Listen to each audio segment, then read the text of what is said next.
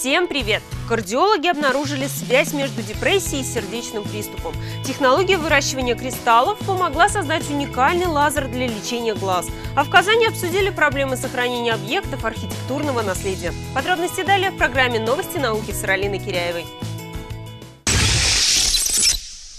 Итак, в мире. Специалисты из Каролинского института выяснили, что люди, имеющие серьезные проблемы с сердцем, сильнее переживают стресс, более склонны к депрессии и истощению, поскольку их сердца обладают меньшей сопротивляемостью, чем сердца здоровых людей. В то же время замечено, что пациенты, перенесшие сердечный приступ, склонны уклоняться от лечения депрессии, они отказываются принимать антидепрессанты, да и врачи не воспринимают их состояние достаточно серьезно.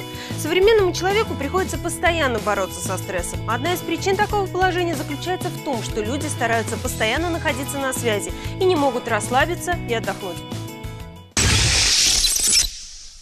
А в России группа ученых из Московского государственного университета имени Ломоносова и Белорусского национального технического университета был разработан макет нового высокоэффективного лазера с полупроводниковой накачкой, который может использоваться в офтальмологии, коммуникационных системах и дальнометрии.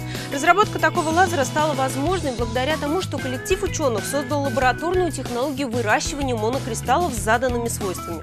Полученные монокристаллы обладают рекордной теплопроводностью, высокой термохимической стабильностью и механической прочностью мощностью, что позволило создать на их основе инновационный лазер, безопасный для зрения. И в заключении в Татарстане. В Международный день памятников и исторических мест состоялось открытие четвертой международной научно-практической конференции «Культурное наследие в 21 веке. Сохранение, использование, популяризация», посвященная 50-летию архитектурного образования в Татарстане.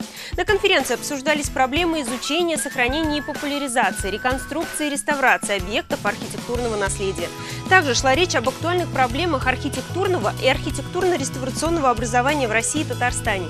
Мероприятие проводилось на базе Казанского государственного архитектурно-строительного университета при содействии Министерства культуры Республики Татарстан. А на этом все.